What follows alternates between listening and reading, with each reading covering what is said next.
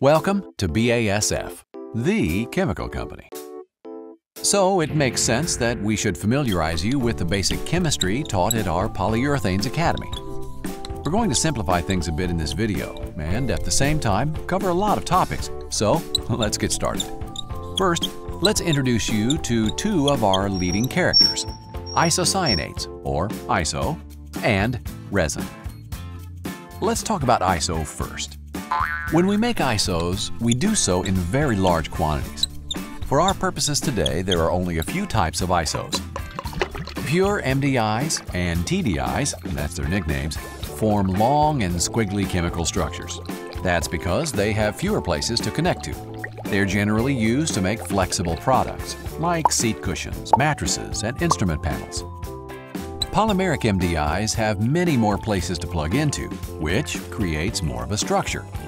They're generally used to make, you guessed it, rigid products like picnic coolers, boat hulls, and foam insulation. Now when BASF makes a resin, we create a custom formula of additives that include polyols. They're the backbone of the mix.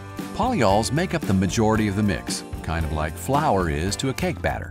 Polyols determine the physical properties of the product, like how soft or hard the product is. Catalysts they control the speed of the chemical reaction and how quickly it cures.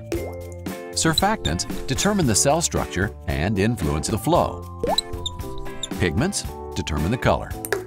Flame retardants make it safer. Adhesion promoters make it stickier. And finally, blowing agents help determine the density and foaming action. At BASF, we're proud of the custom formulas we produce for our customers. Our ISOs and resins provide a custom formula combined to make the unique products our customers need. Products that are flexible,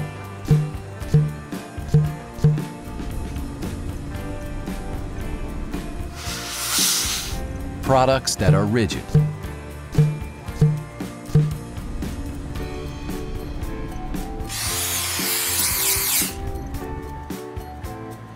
products just the way our customers like them.